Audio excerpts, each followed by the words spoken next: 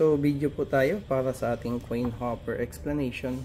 Kung sakaling nagkakaroon kayo ng problem sa kanyang counting, like sobra or kulang yung kanyang dispense. So, ito po yung mga uh, details na kailangan nating malaman kung paano gumana yung coin hopper. So, ang first na i-check nyo, pag sakaling nagka-encounter kayo ng ganong error is yung spring. So, ito po yung stop spring, no? Uh, Makita mo po yan dyan. So, ang ginagawa niya is, pino-force niya itong, itong bakal para outside. Okay. So, ang mangyari kasi, pag i-turn on mo ito, itong, itong magnet na ito, magiging electromagnet siya, hihilain niya itong bakal. Okay? That way, mapupush niya itong block. Tapos, pag na-push itong block, that's the time na mag-start umikot yung hopper. So, if yung spring nyo is hindi ganito, check nyo ito ha, dapat nagbabounce-bounce siyang ganyan. Means, mayroong nakaipit sa spring or siguro kinalawang yung spring or nabasa ba kung matagal, matanda na yung coin hopper ninyo. Kung hindi naman, um, check nyo lang kung baka na-disalign. Minsan kasi ito, itong parang paa niya, na si-shoot dito sa may taas or doon sa may baba. So, dapat straight yan siya. So, actually, ginagawa ng iba kapag ito, kasi minsan nababali daw ito sa shipping, nagaganyan siya. Napupunta siya sa taas. Yan, nabagan, napupunta siya sa taas. I-check nyo na lang, no? Pwede nyo naman yan siyang lakasan ng konti para i-align. Okay, dapat maka-align siya dun sa may block. Dapat ganito siya. Babounce-bounce siyang ganito. Parang kumbaga sinisipa niya yung block portion. Second is yung sensor.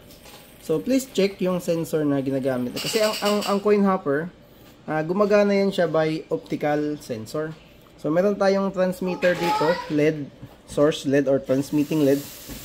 Ito, IR yan siya. And meron tayong IR receiver din sa ilalim. Which is, ako nilalagyan ko ng ano yan mostly ng glue gun para hindi ko natatanggal. Ano no, color 18. Yan. So, dapat, um, naka ano yan siya, naka, kumbaga, naka, kung ito yung, yung, yung transmitter, dapat yung receiver naka, naka nakatutok siya ganyan. Okay. So, let's say, ito yung transmitter, ito yung receiver. So, ilaw yung ginagamit nila, no? Ilaw. Optical. So, kapag dumadaan yung coin, natatakpan yung ilaw, that's the time kinakount ng hopper as mayroon nang nahulog. Okay? So, ano yung common na nangyayari dito? So, syempre, sa may shipping, syempre natin kontrolado minsan, minsan nagaganyan mo yung LED. Diba? Gumagana pa rin, pero makikita mo magkakaroon ka ng error kasi kung mapapansin mo, hindi na siya talaga nakatutok. So usually ginagawa ko dyan, tinitingnan mo lang mabuti. Doon siya nakalagay sa baba, di ba? Okay, actually dalawa yan eh. Pwede mo nang ilagay dito sa taas. Tapos yung kapartner niya dapat dito din sa may taas. Dalawa kasi yan eh. Pwede mo rin siyang ilagay doon sa baba. Okay, which is yung normal. Then itong partner ilalagay mo din doon sa baba. Meron yung parang itim dyan, pwede mo yung hilain gamit yung ano, ballpen or kung ano ba yung gamit. No? kutsara, tapos ilalagay mo dito. So, kayo na yung mag-experiment for that matter. Pero ginagamit ko talaga yung sa baba. Tapos ito, ang gagawin mo, ipo-point mo talaga siya straight doon sa sa butas. Okay.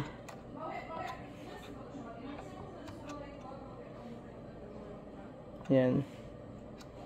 Yan. So, hindi mo siya kasi minsan kasi nakakatabingi yan siya. Dapat straight talaga siya. Ganun, no? Okay, para magiging ano sila, mga nakatutok talaga siya doon.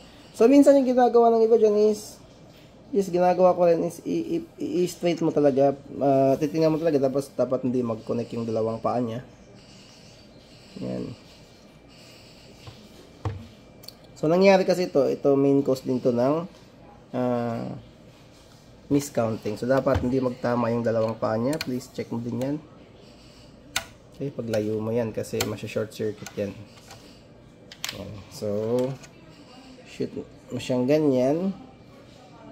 Ayan. Tapos, pag dumadaan yung coin, na-detect niya. Third. So, medyo mahaba na yung video ko, no? So, at least, isang video lang yung papanoorin niya. So, sa third naman, pwede kang gumamit ng mga screw or mga pang ano katulad nito. Kasi, ito po yung tinatawag nating coin stopper. Ito. Yeah. Pag dumadaan kasi yung coin dyan, siyempre tuloy-tuloy yung paglabas, di ba? Binibilang niya. So, pag nag, nag-hit yung spring, mag-stop yun. Tapos, ito rin yung mag stop ng coin. So may mga times na kapag napansin mo kulang yung nire-release niya or minsan kulang, pwede mo ito siyang bawasan ng konti yung pressure. So normally kasi nakaganyan yan siya eh. Straight talaga siya sa baba. So minsan kasi masy- kumbaga masyado siyang malakas yung kanyang ah, pressure nito. Pwede mo siyang i-bend ng konti pa labas. Okay, tapos iti-testing mo na naman ulit. So usually tinetesting na namin yan dito pero syempre sa shipping guys, ah meron times na tatamaan ito ng bibigat. Ito naman many times na disalign. Ito naman minsan nagagalaw din. So paki ano na lang natin. Okay. Ah, paki-check na lang itong mga bagay kasi ito yung reason kung bakit. Actually yung iba tinatanggal nila ito yung ito. Itong stopper. Anyways, pwede mo lang naman i-screw ulit eh. Tapos yung iba naman ginagalaw nila, hindi nila ginagalaw yung bending, di ba? Kasi naka-bend siya, di ba? So hindi nila ginagalaw yung bending, nililipat lang nila. Meron pang isang butas kasi dito. Nililipat lang nila dito.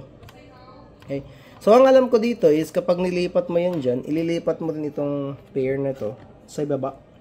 Ah, sa taas pala. Sorry, sa taas. Ilipat niyo ito, ililipat mo dito, tapos ito ililipat mo dito, tapos ito ililipat. Pair yan siya. Kapag nilagay mo na naman siya doon, ilagamitin mo naman yung sa baba. So, yun. Thank you for watching this video. So, ito yung normal. Ito yung common na setup. Kung check mo na lang kung ano yung gumagana sa'yo. Pero ito, rare lang talaga ito na magiging problem. Okay. So, so pwede mo na subukan ilipat dito kung naging work siya. So, yun. Thank you for watching.